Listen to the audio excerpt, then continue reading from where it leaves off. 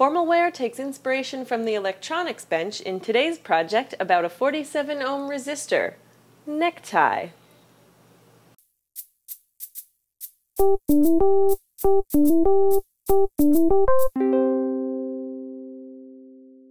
Resistors are used in circuits to limit or resist the flow of electricity.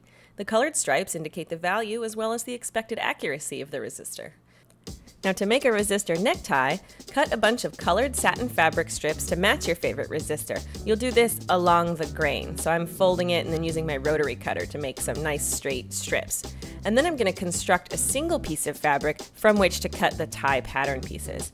I'm using a serger to keep my seams extra clean, but you can go ahead and use a regular sewing machine for this if that's what you've got. My stripes are an inch wide. Half of that's for the actual stripe, and then there's a quarter inch on each side for seam allowance. I started my stripes about 5 inches in from the end of my champagne colored fabric meant to represent the body of the resistor. Press the seams towards the center of each stripe and fold your fabric in a triangle to find the bias, a 45 degree angle from the grain of the woven threads. Lay out and cut your three main tie pattern pieces along this bias. A tie cut with the grain would try to twist on itself instead of draping flat and straight.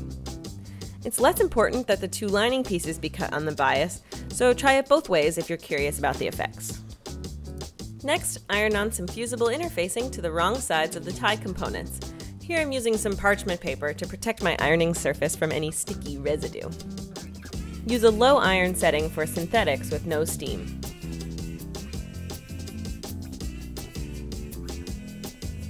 Pin and sew the tie pieces together as shown, and then press the seams open.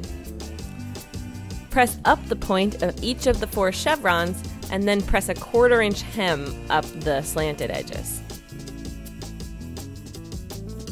Line up and pin the lining pieces to the main body of the tie, and then use an invisible hem stitch to join the two. Be sure not to let the needle pierce the front surface of the tie.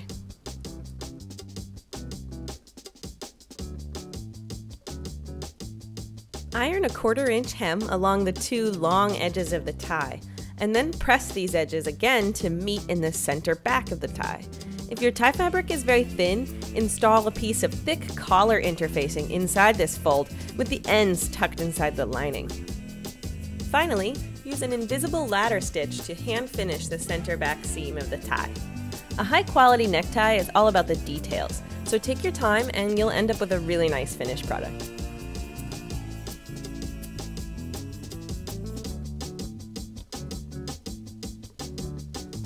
Making a necktie is a great way to get started in working with slippery, bias cut fabrics.